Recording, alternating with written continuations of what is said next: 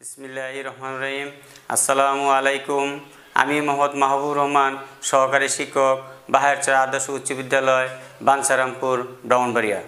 প্রিয় সপ্তম শ্রেণির শিক্ষার্থীরা, তোমরা কেমন আছো? আশা করি আল্লাহ রহমতে তোমরা ভালো আছো।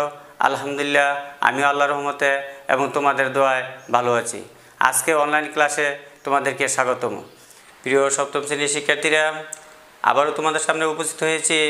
সপ্তম অধ্যায়ের সরল সমীকরণের এই সমীকরণ কি এবং সরল সমীকরণ কি? এটি আগে ক্লাসে আমি তোমাদেরকে উত্তর দিয়েছি এবং আজকে সমীকরণের বিধিসমূহ নিয়ে আলোচনা করব। তাহলে সমীকরণের বিধিসমূহ তিন রকমের। একটা হলো পক্ষান্তর বিধি, দুই নম্বর হলো বর্জন বিধি, তিন নম্বর হলো আর্গুন বিধি।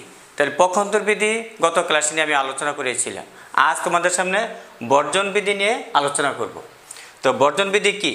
কোনো সমীকরণের উভয় পক্ষ থেকে একই চিহ্নযুক্ত সদৃশ্য পদ সরাসরি বর্জন করা যায়, একে বলা হয় যোগের বা যোগের বা বিয়োগের বর্জন বিধি আমরা বিয়োগেরটা দেখাচ্ছি, যেমন x plus three equal nine বা এক্স প্লাস এ থ্রি আমরা এখানে প্লাসের থ্রি এখানে দিয়ে দিচ্ছি মাইনাসের থ্রি এক পক্ষে।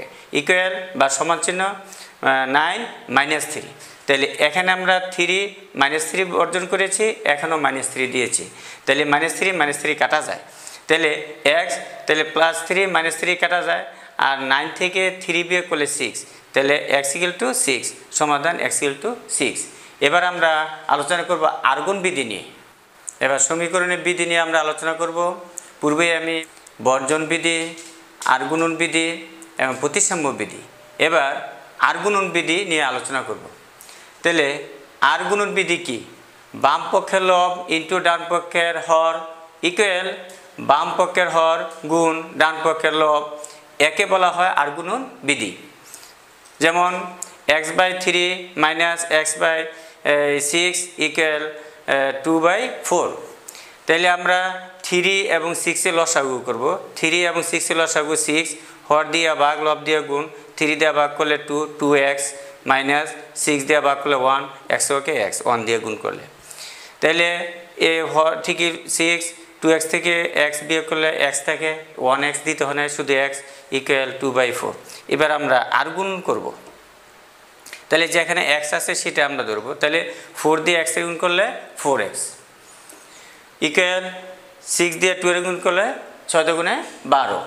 তাহলে এক্সের মান বের করব এ ফোর নিচে তাহলে উপরে বারো, তিন ছেড়ে বারো। তাহলে এক্স ইকুয়াল টু থ্রি প্রিয় শিক্ষার্থীরা, তোমরা স্বাস্থ্যবিধি মেনে চলবে, বাড়িতে নিরাপদে থাকবে মাস্ক ব্যবহার করবে, সামাজিক দূরত্ব বজায় রাখবে, পরিষ্কার, পরিচ্ছন্ন থাকবে।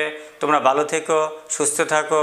এ আশা, এ প্রত্যাশা নিয়ে আজকে আমার ক্লাস এখানে শেষ করছি। ধন্যবাদ সবাইকে। আল্লাহ হাফেজ।